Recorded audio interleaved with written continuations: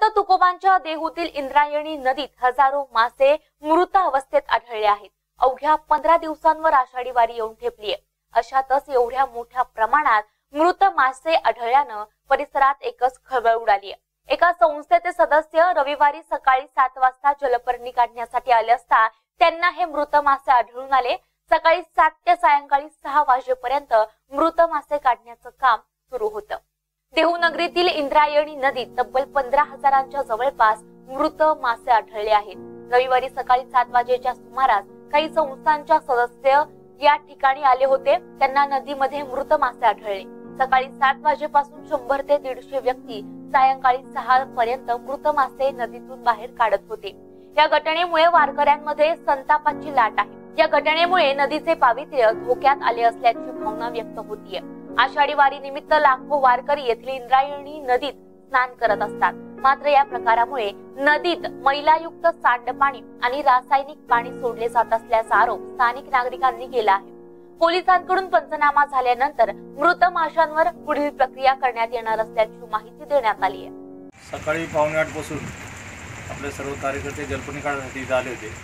पण त्यांना दैनीय अवस्थेमध्ये मासे दिसले मासे खाली तळाला गेले होते. नुकतं त्यांचं निधन व्हा- व्हायची वेळ झाली होती. आणि दिवसभरामध्ये जवळ आठ ते दहा हजार मासे आपण बाहेर काढलेले आहेत. आणि नदीपात्रामध्ये वीस ते पंचवीस हजार मासे मृत झालेले आहेत. ते सगळे तोंड काढून वरती आहेत. उद्या दिवसभरामध्ये ते सगळे मासे काढले जातील.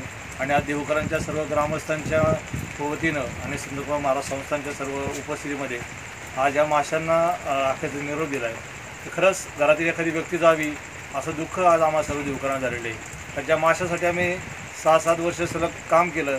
देवमध्ये आपले ते मासे यावं म्हणून मासे म्हणजे देव मासा. आणि आज त्या माशांचा दुर्दैवी अंत हे खरंच आपल्या आयुष्यातील दुर्दै दुर्दैवी घटना आहे. आणि दुःख देवकारांना कधी सहन होणार नाही असे दुःख आज आणि लवकर लवकर इंद्रणी नदी कृषी मु- मुक्त व्हावी ही अपेक्षा आहे. एकोणीसशे सत्त्याऐंशी अठ्ठ्याऐंशी दरम्यान हा महाशीर मासा अशाच प्रकारे मासे अचानकपणे गेले. आणि त्यानंतर देवचं वैभव हरपलं होतं. मी चार सहा वर्षापूर्वी तळेगावची संस्था फ्रेंड्स ऑफ नेचर यांच्या माध्यमातून परत महाशर्माशांची जातीचे शोध लावला आणि आम्ही देव ग्रामपंचायतच्या वतीने सर्व ग्रामस्थांच्या वतीने या ठिकाणी हे वैभव परत यावं म्हणून हे महाशीर मासे नदीत सोडले आणि खऱ्या अर्थाने वैभव वाढलं होतं. आणि आज अचानक मासे गेल्यामुळं खऱ्या अर्थाने देवावरती दुःखद घटना म्हणलं तरी चालेल ही. आणि आज ग्रामस्थांच्या वतीने या ठिकाणी शोक व्यक्त करते मी.